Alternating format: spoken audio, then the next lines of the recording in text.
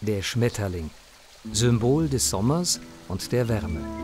Im kalten Europa werden die Tiere aus den Tropen importiert. Schmetterlingsfarmen sind nicht nur Touristenattraktionen, sondern auch Zentralen für den Handel mit diesen Tieren, wie dieses Mariposarium in Costa Rica. Hier laufen die Bestellungen aus der ganzen Welt zusammen. Auch wenn es auf den ersten Blick so aussieht, mit Schmetterlingen zu handeln, ist keine Ausbeutung der Natur. Im Gegenteil, es hilft den Wald erhalten. Hier haben die Besitzer bis vor wenigen Jahren den Wald noch abgeholzt. Heute züchten sie Schmetterlinge für das Mariposarium in der weit entfernten Hauptstadt. Edgar Corrales verdient so mit dem Wald Geld, ohne ihn abzuholzen, denn hier leben viele Schmetterlinge, die sie für die Weiterzucht einfangen. Später werden sie einen Teil der gezüchteten Tiere wieder in die Freiheit entlassen. Der Fortbestand ist somit gesichert. Gerade eingefangen bringt der Züchter das Tier in den Vivero, eine Art Gewächshaus. Hier drin können die Schmetterlinge unbehelligt von Feinden leben und sich vermehren.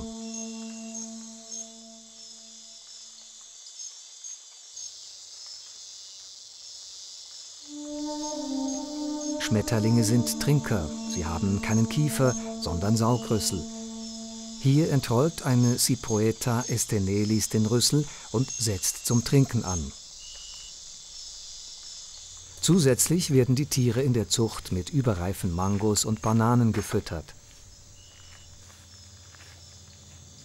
Mit vollem Bauch ist's erst gemütlich und es wird geflirtet.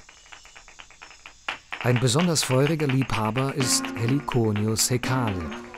Einige Schmetterlingsarten besitzen am Hinterleib oder an den Flügeln Drüsen, die einen Stoff absondern, um das Weibchen gefügig zu machen.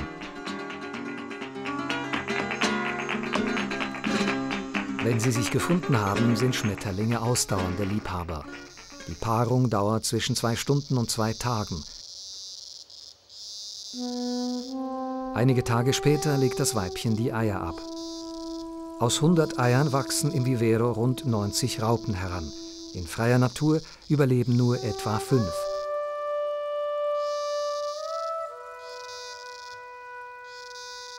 Der Züchter sammelt die Eier sorgfältig ein. So schützt er sie vor Krankheiten und Feinden.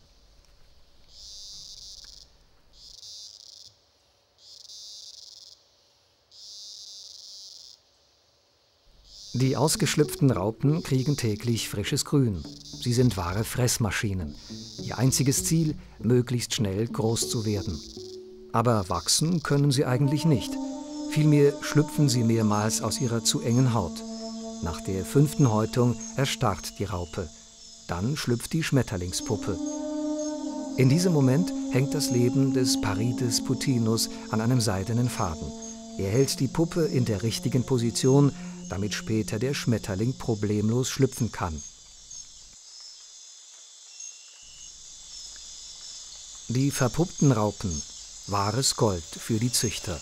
Täglich sammeln sie die Puppen ein und schützen sie in der Farm. Sind genug zusammengekommen, ist Liefertag.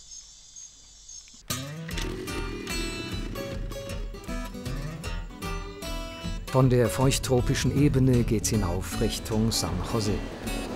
Die Züchter liefern zweimal in der Woche in die Zentrale. Von Schmetterlingen leben in Costa Rica einige hundert Familien, die überall im Land in verschiedenen Klimazonen verteilt sind. Dank dieser Arbeit sind sie nicht zur Landflucht gezwungen.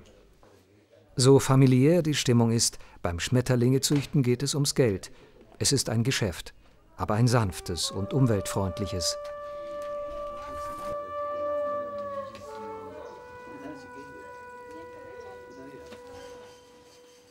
Für jede gelieferte Puppe gibt es je nach Art einen bis zwei Dollar. Es folgt noch der Papierkram. Grenztierarzt und Zollbehörden sind kritisch, denn die Tiere sind geschützt und dürfen nur aus Zuchten exportiert werden.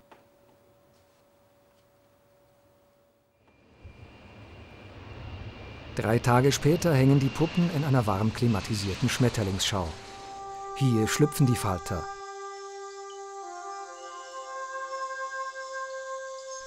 Die Haut ist gerissen, der Schmetterling stößt zuerst die Füße aus der Puppe, dann den Hinterleib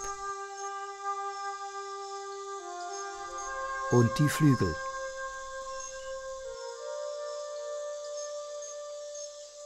Langsam pumpt der Schmetterling Blut in die feinen Äderchen. Das Entfalten in achtfacher Geschwindigkeit.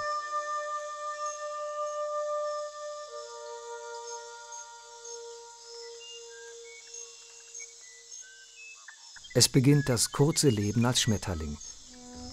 Innerhalb nur eines Monats muss er fressen, einen Partner suchen, Eier legen.